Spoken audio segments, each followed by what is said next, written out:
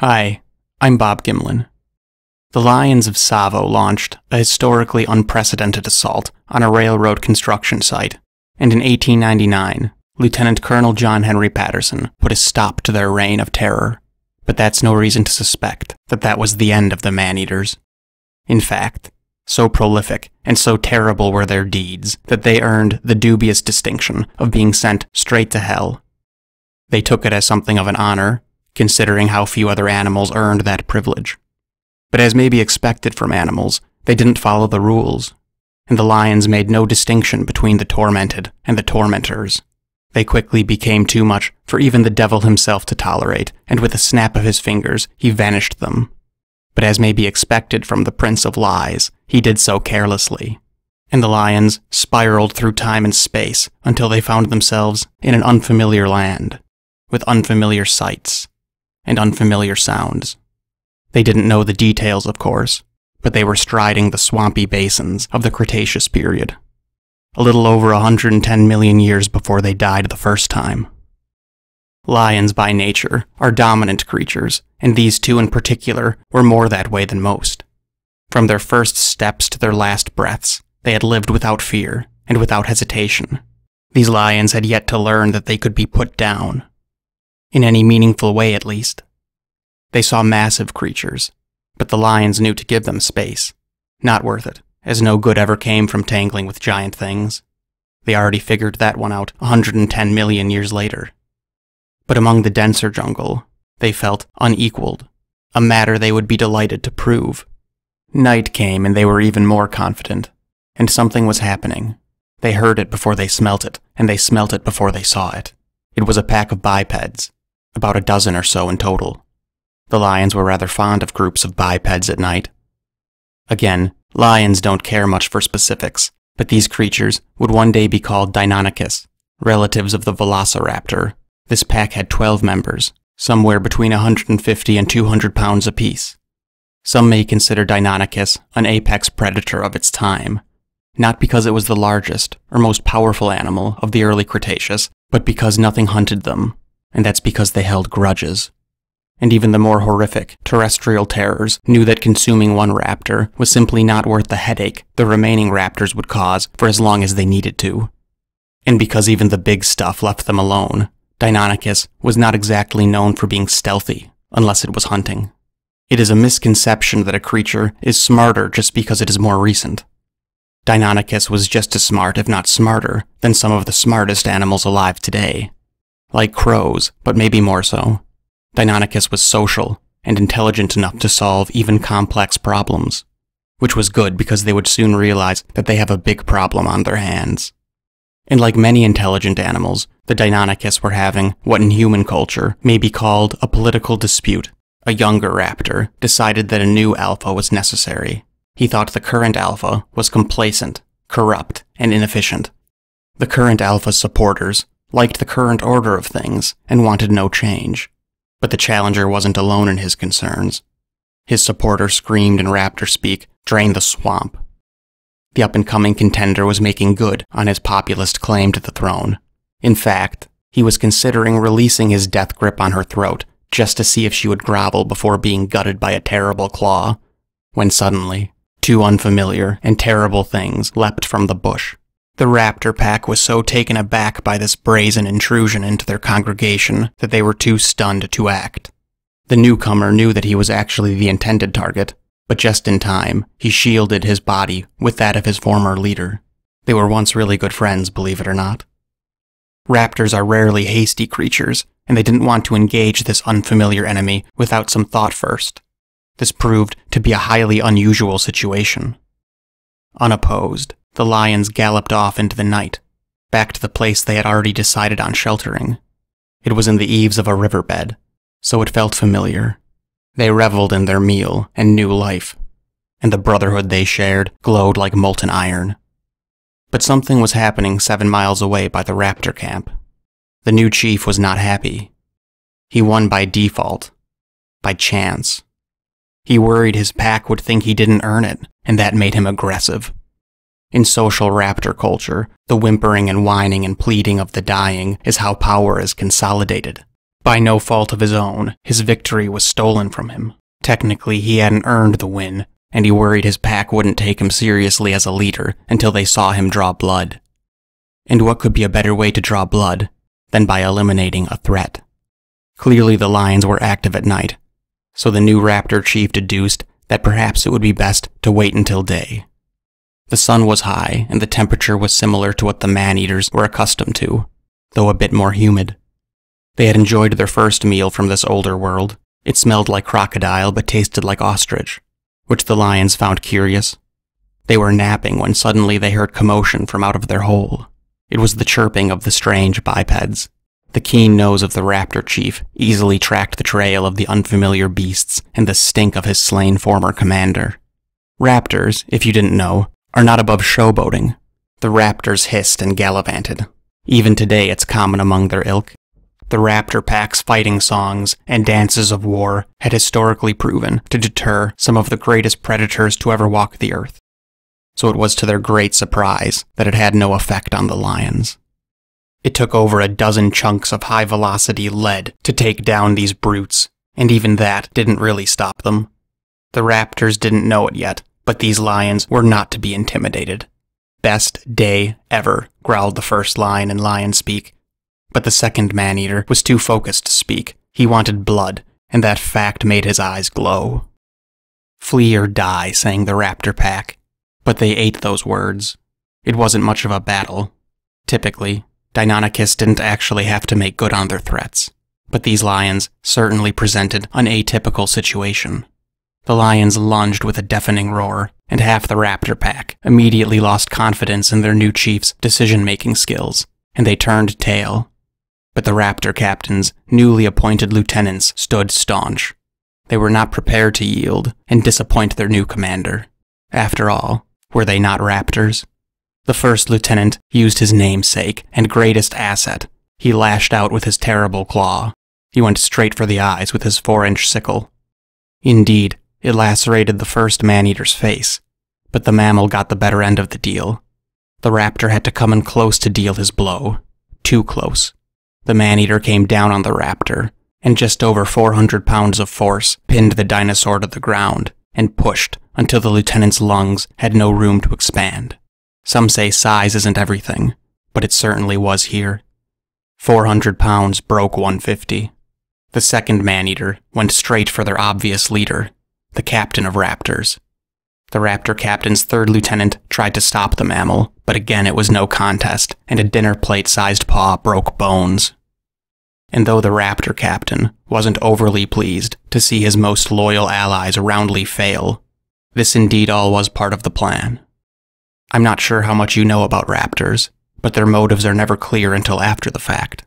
As the first man-eater took great delight in battering his prize deep into the rocky earth, the second man-eater, took off in pursuit of the raptor captain. On the grassy plains of Africa, the man-eater would have been upon him, but home field advantage won out. The fleet-footed biped had the edge through this dense and familiar jungle. The lion pursued the raptor all the way to the bank of the river, and watched the raptor skip over several boulders. The water still rippled from where the dinosaur's tail feathers tickled the surface. The raptor captain danced a death dance on the opposite bank, challenging the lion with what would translate in human culture as inappropriate gestures. Coward, screamed the raptor. You're the one running, growled this the second man-eater. He eyed the boulders, and indeed, he was about to make the same jump when he noticed familiar shapes, and though the shapes were familiar, their size wasn't. Massive armored heads peered from the water without so much as a ripple. They were drawn away from the murky bottom by the raptor's calculated disruption of the water's surface. Clever girl, thought the lion, and he walked home. The first man-eater took a nap. He was the first man-eater because he was the first to die in Tsavo. He tuckered himself out from playing with his new pet. He never named his pets. They didn't tend to last very long. The wound on his face barely bothered him at all. In fact, he had gotten worse from the walls of thorn bushes that the humans had foolishly built to trap themselves. Both lions had full stomachs from the welcomed intrusion. The other raptor who tried to impress his captain still gurgled on the earth beside the den. He was too wounded to move, and he stank in the sun. Only 24 hours ago, the raptor pack had 12 strong. Now they had only 9. And though the first man-eater had drifted off to sleep, the second man-eater was too angry to relax. He didn't like what happened at the river. Not one bit. The second man-eater said, It was clever. I hate clever. The first man-eater was beckoned from a dream by his friend's utterance. Can I ask you a question? asked the first man-eater. You just did, and no, rumbled the second man-eater.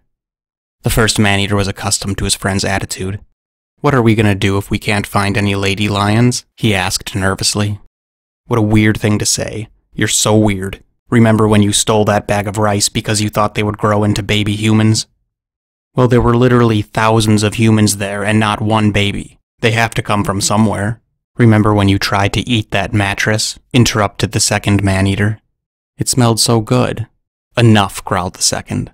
We kill things. That's what we do. It doesn't matter if we're here, there, or anywhere. We find things that are alive and we don't stop until they're not. Okay, sighed the first man-eater. You have to relax, though. And he fell asleep to wonderfully evil dreams.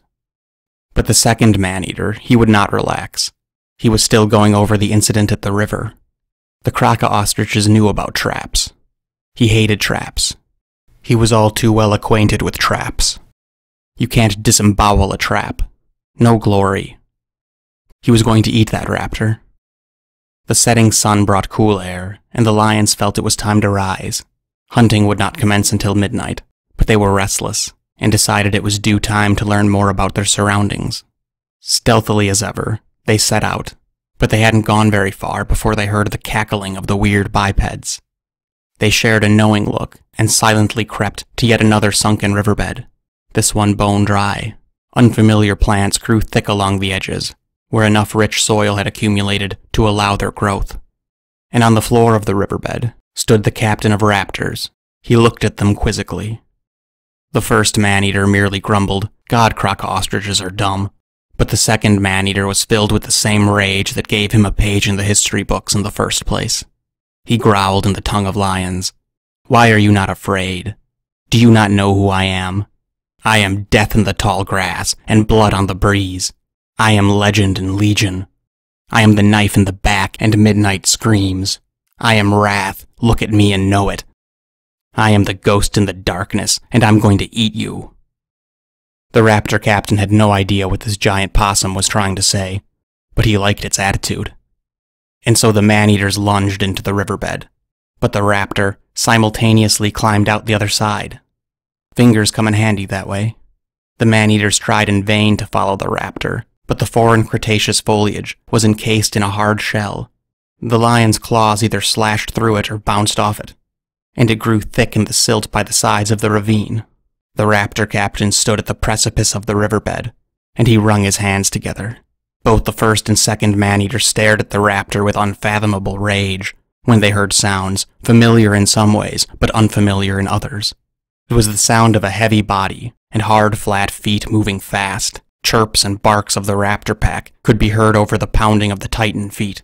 An unfamiliar and massive beast came hurtling down the sunken riverbed, with raptors behind it like a cattle prod. The riverbed walls were too narrow for the beast to go anywhere but forward, so forward it went. The first man-eater cried, Hell turtle!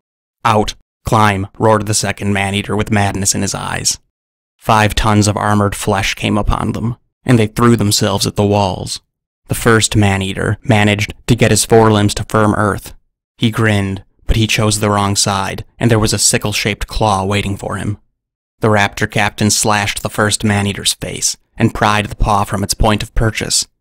The raptor captain knew enough about tendons to do so devastatingly. The first man-eater fell, and on his chest fell a foot with 10,000 pounds of weight above it, and then another foot, and as it had been millions of years later, the first to die in Tsavo was also the first to die in that commonplace Cretaceous ravine. But the second man-eater clung desperately to the stalks. He had fire in his eye. He managed to avoid the slashing armor and stomping feet. But he was unaware of the tail. He didn't know the big stuff had tails. A ball of bone struck him in the back, and that mass of ossified bone routinely shattered the bodies of beasts fifty times the size of the man-eater or more. His back offered no resistance, and it broke. The second man-eater fell deftly, and the giant kept going, and the raptors circled. The man-eater couldn't feel or even move his hind legs. Every breath radiated fireworks of agony through his chest. Once again, his body was broken, but his mind was malice. Still, he reared up. He would have roared, but he knew he'd need every bit of oxygen for this, his second fight to the death. Had the raptors truly wanted to insult and dishonor the man-eater, they would have simply walked 15 feet away and let him pass away in peace. But that is not the way of the raptor. The raptor captain still needed to draw blood, and he needed his pack to see it. And of course, this was his favorite kind of fight, one with a devastating advantage. And though 500 serrated teeth ripped the man-eater to pieces, he still took two with him to the grave. The raptor captain, no, he thought, the lord of raptors, sang a song that night. The song was a testament to the fact that no mammal would ever again challenge his species. And though the man-eater's bodies broke there, they didn't really go anywhere. Once rejected from death, always rejected, and their spirits floated in nothingness, like ghosts in the darkness. But it wasn't over for the man-eaters, far from it, for they would float in the abyss of history unknown for 110 million years and no living thing would hear so much as a whimper from the man-eaters until 1898, when Lieutenant Colonel John Henry Patterson came to Africa to oversee construction on a bridge. Anyway, I thought of this recently after having my wisdom teeth removed. I wrote down some notes and then in the coming days struggled to make sense of what I had in mind, but once I figured it out, I thought it would make a fun video for you. I strongly encourage you to check out my video on the full story of the Lions of Tsavo, because sometimes the imagined just can't compare with the documented. Make sure you like and subscribe for more soon to come content. And as always, thanks an awful lot for listening.